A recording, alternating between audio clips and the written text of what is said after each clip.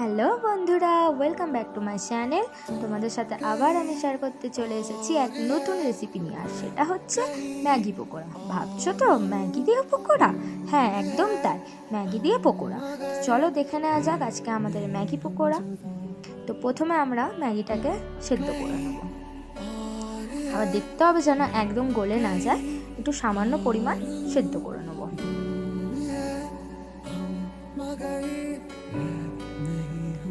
তারপরে সেদ্ধ হয়ে গেলে ম্যাগিটাকে আমরা ছেঁকে তুলে নেব।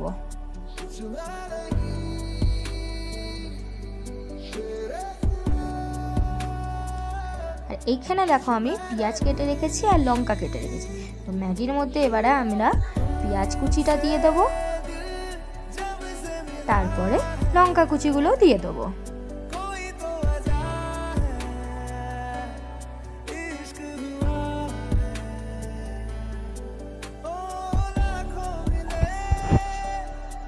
এরপরে আমরা সামান্য পরিমাণ হলুদ, সামান্য পরিমাণ লঙ্কা গুঁড়ো, স্বাদ মতো লবণ আর সামান্য গোলমরিচ।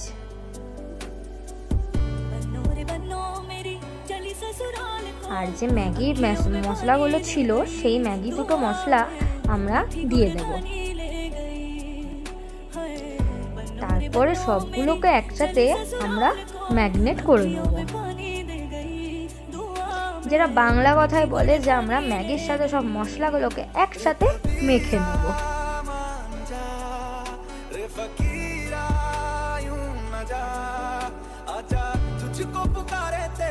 এরপর সামান্য পরিমাণ বেসন দিয়ে দেবো এবং বেসনের সাথে ম্যাগিটাকে ভালো করে মেখে নেব।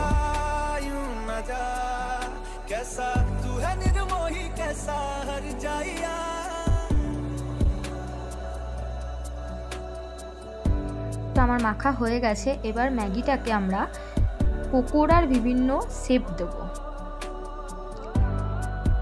তো আমি বেশিরভাগ, দেখো, গোল এবং লম্বা ধরনের করেছি। তো তোমরা বিভিন্ন রকমের শেপ দিতে পারো, গোলও করতে পারো, লম্বা করতে পারো, চ্যাপটা করতে পারো, যার যেরকম ইচ্ছা, যার যেরকম পছন্দ, সেরকম টাইপেই তোমরা করতে পারো। তো দেখো, এখানে আমি দেখো, যেটা বললাম তোমাদেরকে, আমি গোল কয়েকটা করেছি আর চারটে মাত্র লম্বা টাইপের করেছি।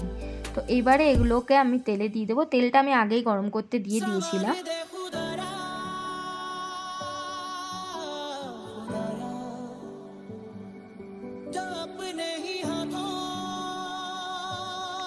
তো যতক্ষণ না পকোড়াগুলো একটু লাল লাল হয়ে যাচ্ছে, ততক্ষণ আমরা ভাজবো। আর সামান্য হালকা তোমরা যখন পকোড়াটা ভাজবে, তখন একবার টিপে টিপে দেখে নেবে যে ভেঙে যাচ্ছে কিনা। যদি ভেঙে যায়, তাহলে ভাববে যে ভিতরটা কাঁচা রয়েছে। তো সেই জন্য অনেকক্ষণ ধরে ভাজতে হবে এবং দেখো অলরেডি আমরা শেষের মুখে এই চারটেই আর বেঁচে আছে।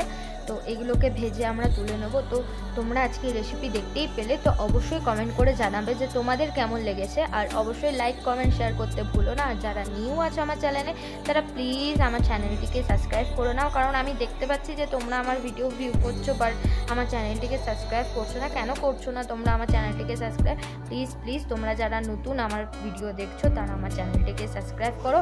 আর অবশ্যই আমাকে কমেন্ট করে জানাবে যে তোমাদের আজকের মেনু কেমন লেগেছে। তো আজকে এইটুকুই চলো। আবার অন্য কোনো রেসিপি নিয়ে তোমাদের সাথে আসব। শেয়ার করতে চলো টাটা।